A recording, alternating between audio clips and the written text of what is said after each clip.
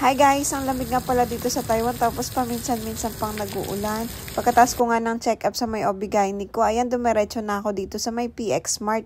Mamamalengke sana ako dun sa may palengkeng panggabi kaso nga naulan na. Medyo mahaba-haba rin kasing lakaran kapag papunta pa ako dun sa may palengkeng panggabi kaya dito na lang talaga ako sa may PX Mart. Ang grocery ko nga lang pala dito ay isda, baboy, manok, baka, tapos ayang pusit kasi natatakam ako sa pusit. Gusto ko kasi salitan yung ulam namin na baka, baboy, manok, isda, gulay para naman balance siya at hindi nakakaumay kumain. At nag-iisip pa nga ako kung may kailangan pa ba akong karne. Sabi ko okay na yun, tama na yun. Tapos nagtingin ako dito sa mga gulay kaya kumuha na rin ako ng repolyo. Gusto ko yung sakto ang laki lang ng repolyo para naman hindi nasasayang sa ref yung namin. pwede na siyang pang dalawang luto, ubus na agad. Kadalasan pa naman ang lalaki ng mga repolyo dito. Pumunta nga ulit ako dun sa may bungad, kumuha ko ng isa pang tray kasi nga ikukuha ko ng mga drinks si baby, gatas niya, yakult niya. Kukuha nga din pala ako ng cheese kasi bala ko gumawa kami ni baby ng pizza na tinapay lang yung gamit para naman may activity kami. Hindi nakaka-boring sa bahay. At ayun nga po, kumuha na rin ako ng yogurt yogurt namin ni baby, strawberry yung flavor na kasi si Jai hindi naman mahilig kumain yan. Tapos nagtitingin nga ako ng cake dito, mayroong strawberry din. Tapos hindi na ako bumili, tapos kumuha na rin pala ako ng gatas namin, tapos Yakult ni baby. At ayan, kumuha na nga ako ng maramihang Yakult kasi nga tuwing bababa kami doon sa 7-Eleven, bumibili kami 8 NT isa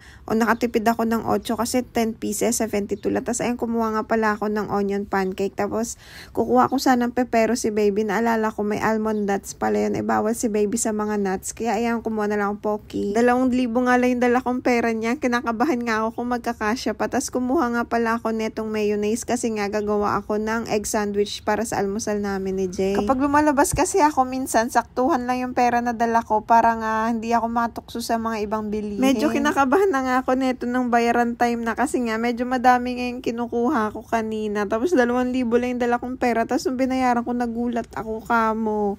Tuwang-tuwa nga ako. Sabi ko, dito na lang ako lagi mamamalengke. 1,395元.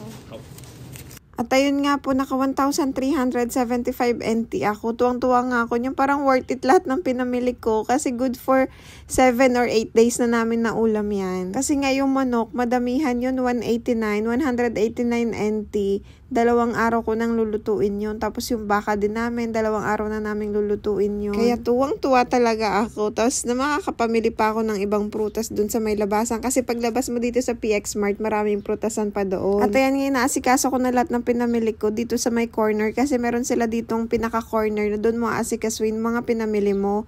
May dala nga pala akong isang eco bag kaso nga medyo madami na pamili ko kaya kumuha pa ako ng isang plastic sa kanila. 5 NT yata ang binayad ko dyan. Pagkatapos nga makapag-ayos, binalik ko na rin yung tray at trolley nila tapos aalis na ako dito, uwi na ako. Tapos ayun nga nag-uulan pa rin. At dahil nga matagal pa yung bus, 12 minutes pa antayin ko. Sabi ko bibili muna akong prutas dito sa may antayin ng bus malapit. Ayun nga may nakita akong balimbing. Napakalaki talaga ng mga balimbing dito pero yung gusto ko yung saktuhang laki lang. Yung kaya kong ubusin sa isang kainan. Ayan. No? Pagkakatanda tanda ko, 16 NT ata yan. Eh, nakalimutan ko na. Tapos, ayan, gusto kong bumili pa kung kasi favorite talaga yan ni baby.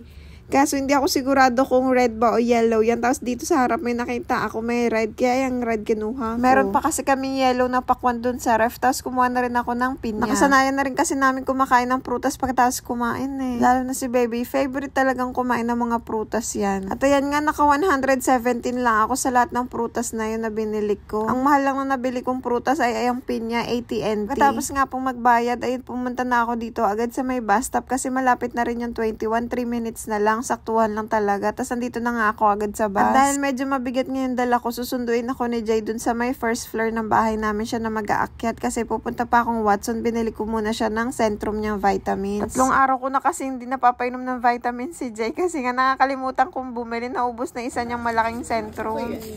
Linjo Chijo. San Jojo. Linjo San.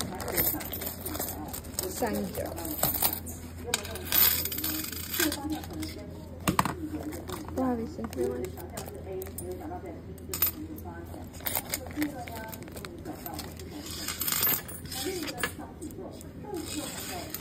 Puro barya na lang natira sa pera ko. Tapos dumaan nga ako sa Coco kasi parang nag-crave ako. Tapos pupunta ako doon kay Yang Yang sa may kasi door. Kasi nga kukunin ko yung lumpia wrapper na in-order ko. Nakisabay ako doon sa mga mare ko. Bumili lang ako ng isang milk with taro na para kay Yang Yang. Tapos sa akin naman na isang naicha.